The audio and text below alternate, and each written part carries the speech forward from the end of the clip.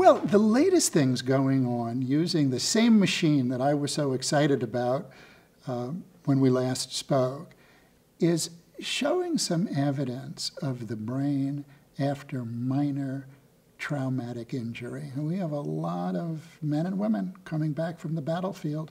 They've been exposed to explosive devices. They've been knocked unconscious. And sometimes when you've had a little time unconscious and you're coming back from a war zone, it's hard to distinguish whether you have post traumatic stress disorder or minor traumatic brain injury. The, the usual brain imaging devices, the MRI, the CAT scan, they, they pick up areas of the brain that have been damaged. And it's relatively gross in the case of traumatic brain injury.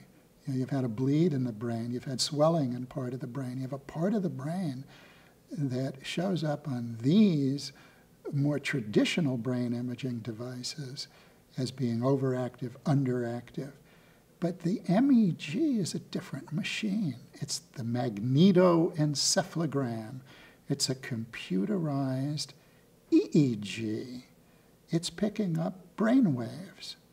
And so in the minor traumatic brain injury, there's some differences in how the electrons flow over the highways of the neuron.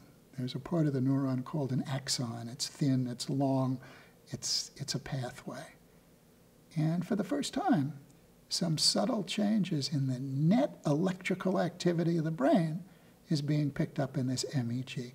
What it tells me is we're moving toward the day when we can distinguish among three types of people who come back having been traumatized and, and, and injured.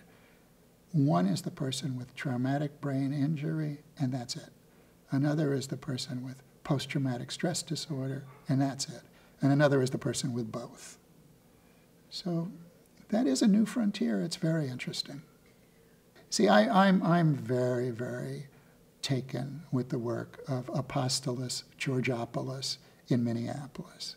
He's the first to, with his team of, of colleagues, he's the first to show that something is going on in the working of the traumatically traumatized brain. And it's there even when you're not thinking about your trauma you can spend a minute in an MEG, and the MEG will show the difference between someone with PTSD and someone without.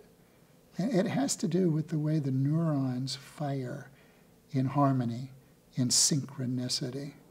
And I believe we're getting at the spot, the area of the brain that is injured when you're exposed to overwhelming stimulus. And, and this is the part of PTSD that has to do with the trauma memory, with the memory that comes at you when you don't want it to, with the memory that almost has the force of an epileptic reaction. It doesn't have to do with the generalized nervousness. It doesn't have to do with the generalized lowering of the feelings of love and joy. It has to do with the core feature of PTSD, the haunting traumatic memory. And, and when I reach the point with my patient where they can tell me about something that's terribly traumatic, and it doesn't cause them to go into the trauma, to have a flashback, to leave full of the trauma that they just spoke with me about. It's a bad memory, but they contain it. The memory doesn't contain them. It's when, when they no longer have a trauma memory pattern, I know they're in remission. They've, they've really come out of the PTSD. That's the core feature. That's what I think Apostolos Georgopoulos is picturing in the MEG. That's what makes it so special. All the other brain imaging work that we have is the same for a nervous person, it's the same for an obsessed person.